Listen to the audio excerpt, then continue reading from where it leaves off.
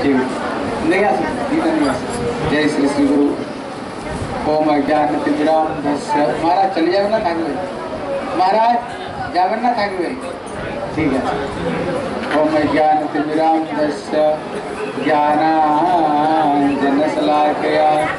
चक्षुरुन्मिलितं येन तस्मै श्रीगुरवे नमः गुरवे गौरचन्द्राय राधिकाय स्तदालये कृष्णाय कृष्णभक्ताय तद्भक्ताय नमो नमः।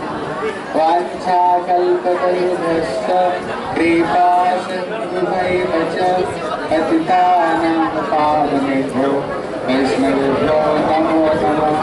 नमो महावदन्याय कृष्णप्रेमप्रदायते।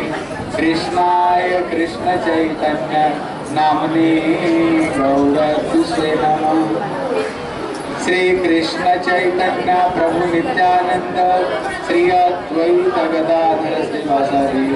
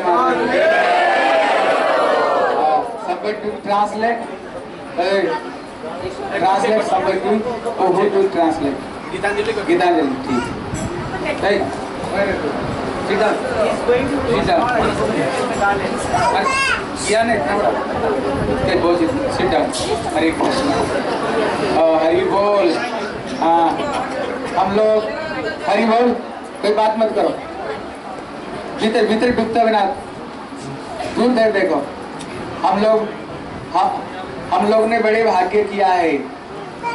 जो हम लोग श्री गुरु वैष्णव के अनुगत्य में श्री नवद्वीप धाम परिक्रमा करने के लिए हम सबके सब यहाँ उपस्थित हुए हैं। फिर महाप्रभु का जो महिमा, ऐसे कोई ग्रंथ नहीं जिसमें श्री चैतन्य महाप्रभु का महिमा है नहीं। जितने वेद, पुराण, उपनिषद जितने सारे ग्रंथ देखो, हर ग्रंथ में आपको श्री चैतन्य महाप्रभु की आपको कथा, चैतन्य महाप्रभु का जो महिमा, हर शास्त्र में आपको मिलेगा हाँ हर शास्त्र में मिलेगा जैसे श्रीमद् भागवत ग्रंथ है, ये श्रीमद् भागवत ग्रंथ, जितने सारे शास्त्रों का जो निचोड़ है, ये भागवत ग्रंथ है हैं? लेकिन श्रीमद् भागवत ग्रंथ में भी महाप्रभु की बहुत सारी कथा है महाप्रभु की बहुत सारी महिमा ये श्रीमद् भागवत ग्रंथ में भी विद्यमान है? इसलिए कहते जो भागवत का जो प्रथम श्लोक है, हम जैसे पहले सुन रहे थे, जैसे अगर यहाँ पर प्राइम मिनिस्टर नवद्वीप में आएगा आने से क्या होगा, पहले से ही अनाउंसमेंट हो जाएगा पेपर में न्यूज़ में सब जगह में आ जाएगा, मोदी अमुक समय में, अमुक फ़्लाइट में, अमुक जगह में उतर रहा है। पहले पहले से सब आ जाएगा।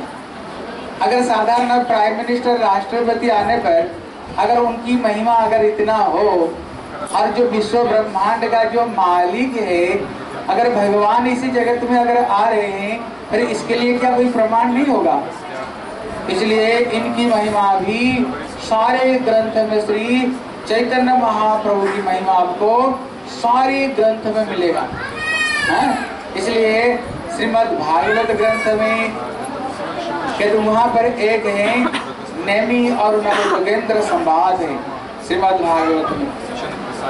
कहते श्रीमद् भागवत में जब श्री नमी महाराज नव जोगेंद्र को प्रश्न करते हैं, बोले, कलयुग में अवतार कौन है?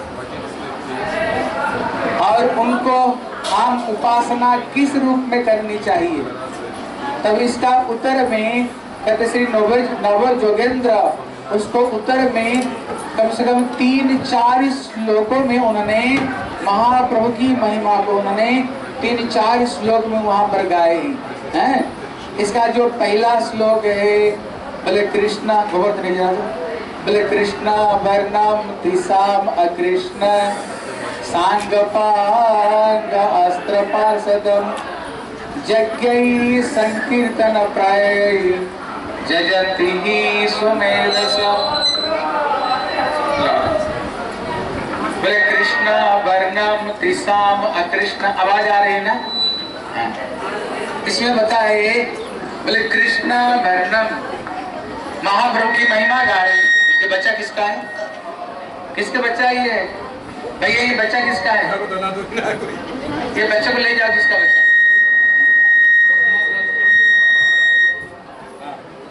हरे कृष्ण। ठीक है। हरे कृष्ण। हरे कृष्ण। बोले कृष्णा वर्णम। कहते उनका वर्ण कैसे होगा? उनका वर्ण होगा कृष्ण। कृष्ण मतलब होता है सुंदर। उनका जो शरीर का जो वो है बड़े सुंदर होएगी, हैं? क्योंकि कृष्ण कितने सुंदर है। और राधा रानी, उनको भी मात करने वाले राधा रानी के रूप है। हैं? अगर ये दोनों मिल जाए, अगर ये दोनों मिल जाए तो फिर ये कितने सुंदर नहीं होंगे। इसलिए इसका एक अर्थ है, बोले, कृष्ण वर्ण जिनका वर्ण बड़ा सुंदर होगा। ये एक अर्थ है। इसका जो दूसरा अर्थ है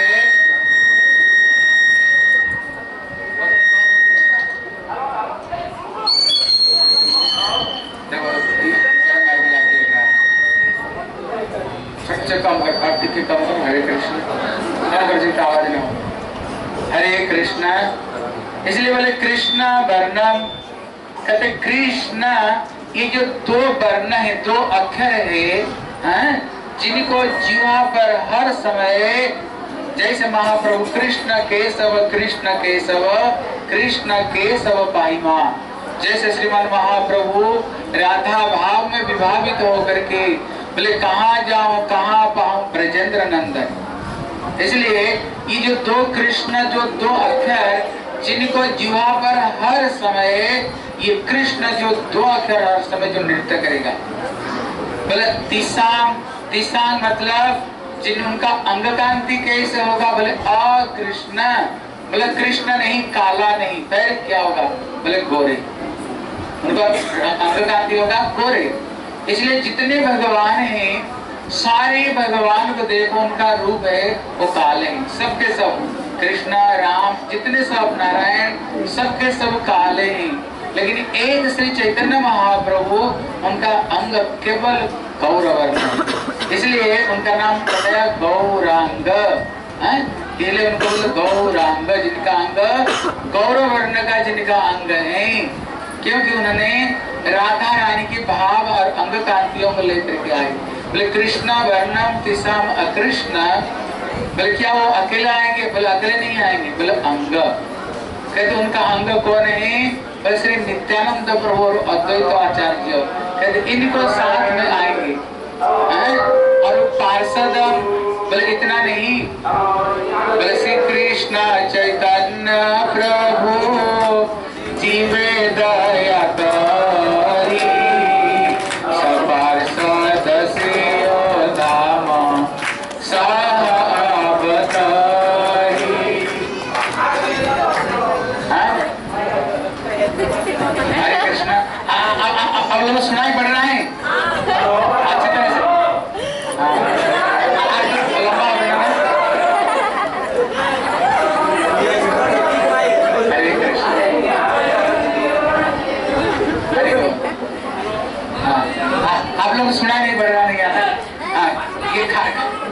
ये खाट बना उठा करके वहाँ रख लेते हैं।